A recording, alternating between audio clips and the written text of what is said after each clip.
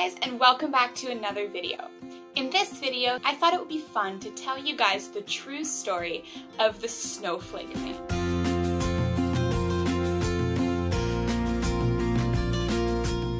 So Wilson Bentley was born in the 1860s in a farm in Vermont. Vermont gets pretty cold and the farm was small, so he definitely didn't have a fancy life, especially in the winter. His dad was a farmer and he helped his dad on the farm, and his mother was a school teacher.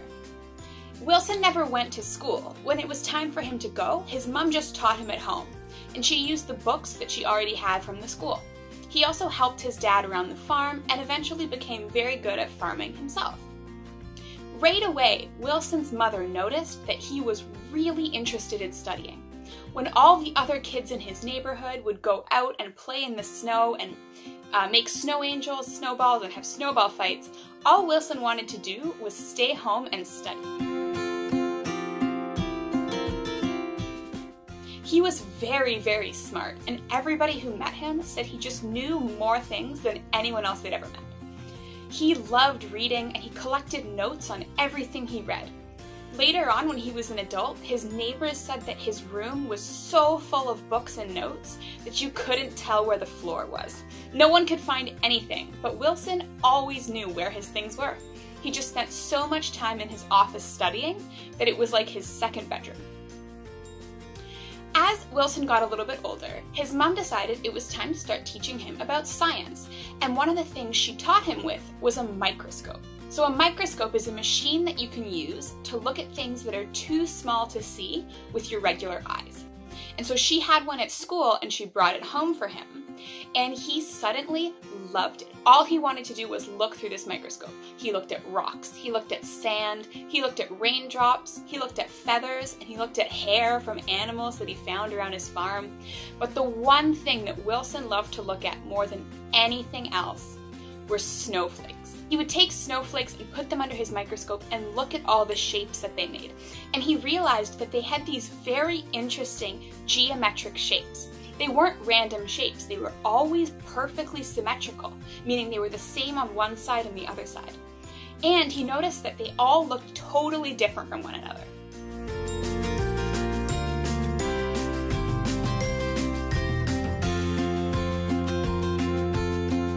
Started trying to draw the pictures of the snowflakes that he was photographing.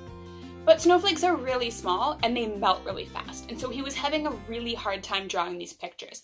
He was getting really frustrated because he felt like he could never draw a picture that was as pretty as the actual snowflake looked. So he begged his mom and his dad for a microscope camera. This was a special camera that had a microscope attached to so you could take a photo right through the microscope and take photos of these really tiny things. He wanted to take photographs of snowflakes so badly.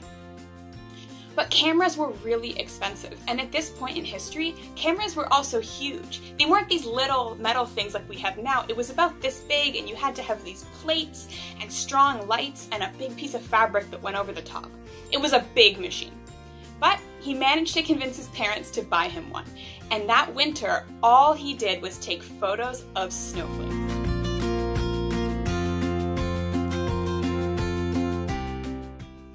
Wilson didn't really think he was doing any important science. He kind of just thought he was taking photos for the sake of it. Remember, he wasn't even a photographer, he was a farmer who just liked taking photographs. But a couple years later, somebody from a university in his area saw his pictures and was very interested in them. Wilson didn't know this at the time, but nobody else had ever taken photos of a snowflake through a microscope like that. He was the first person to do it, and he'd taken hundreds of them.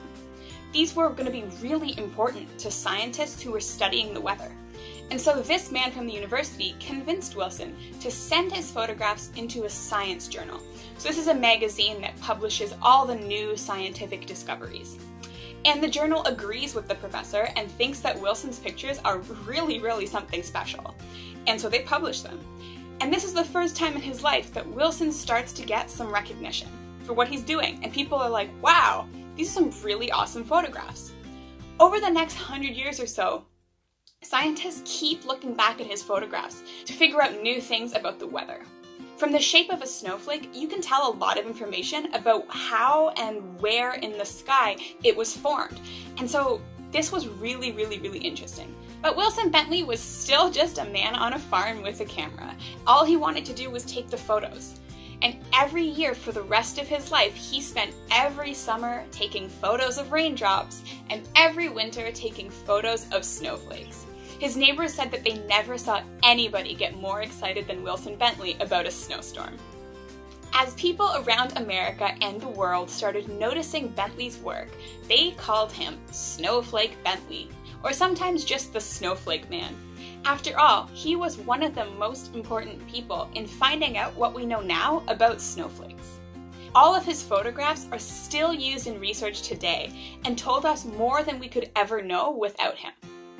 So this is what's really important and what's interesting about science, is sometimes even studying something that you don't think is that important will make a massive difference later on.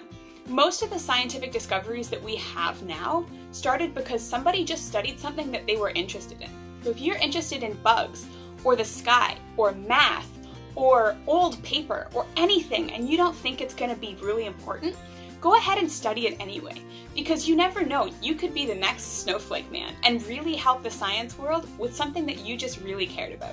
That's what's great about science, is if everyone cares about one little piece of the puzzle, you can put all of those puzzle pieces together and learn so much about the world.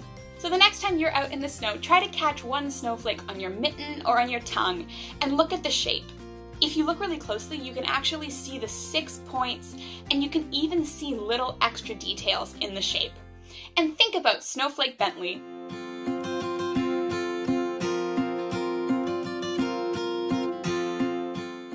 I hope you enjoyed this story and I hope that inspired you to think a little bit more about science.